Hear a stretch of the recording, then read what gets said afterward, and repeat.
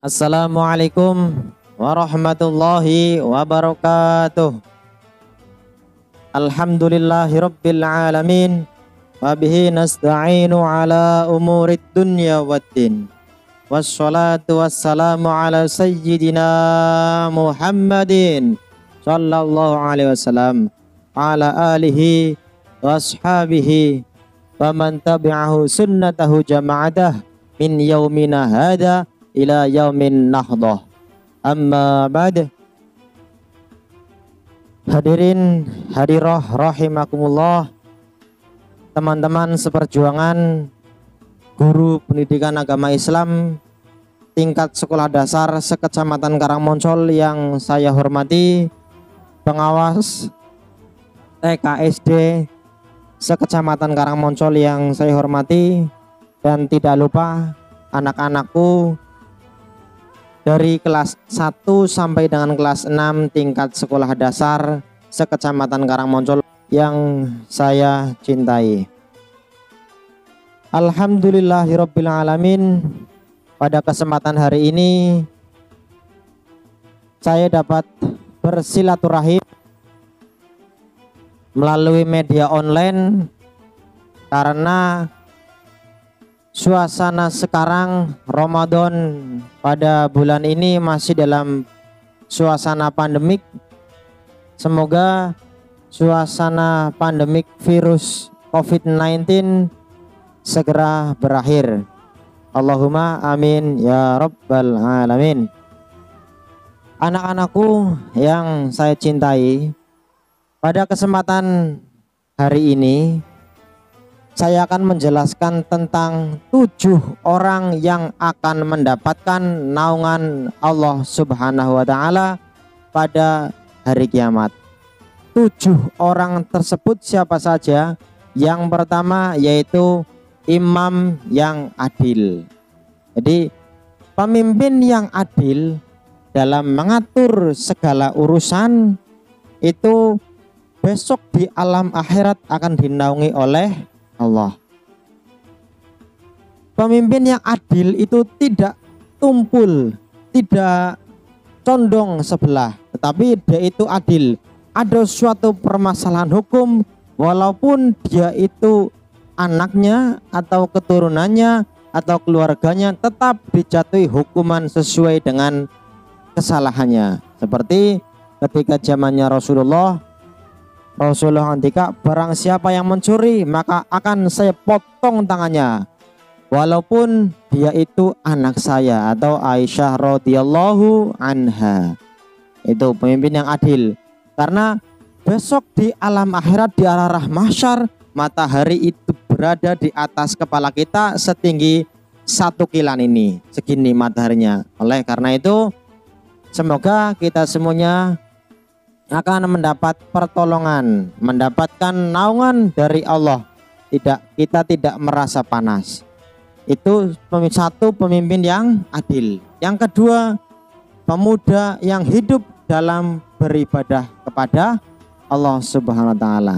Jadi seorang pemuda yang hidup hanya untuk beribadah kepada Allah. Semua pekerjaannya diniati untuk beribadah Berangkat sekolah kita niati untuk beribadah. Bekerja kita niati untuk beribadah.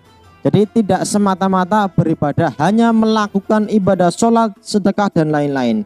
Banyak sekali ibadah-ibadah yang kita tidak tahu tapi itu termasuk beribadah. Contohnya ketika bulan puasa kita tidur itu juga termasuk ibadah. Kenapa kok tidur termasuk ibadah?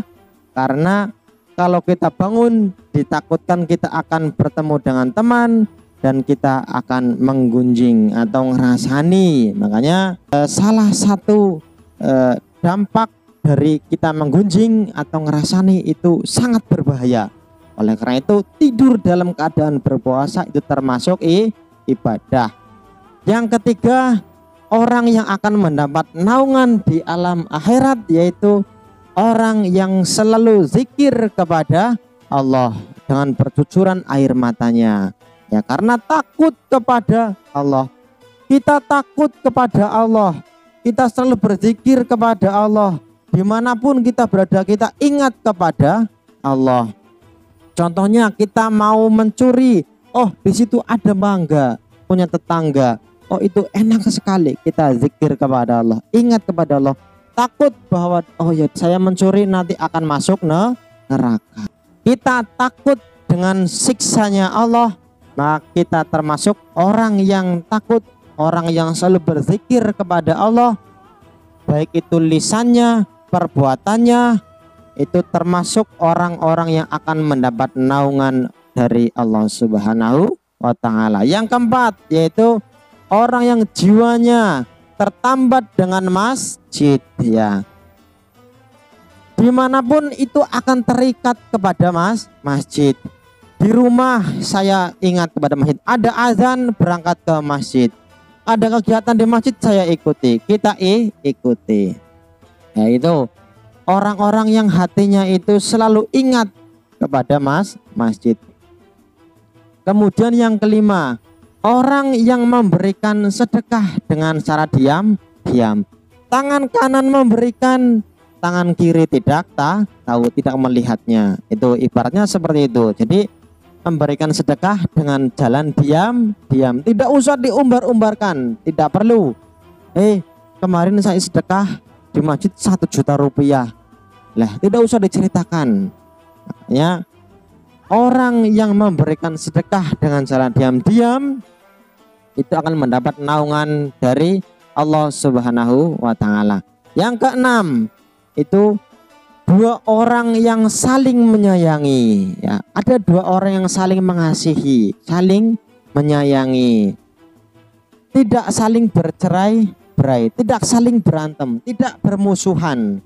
Kita harus saling menya menyayangi, saling mengasihi antara yang muda dengan yang lebih kecil itu harus saling mengasihi.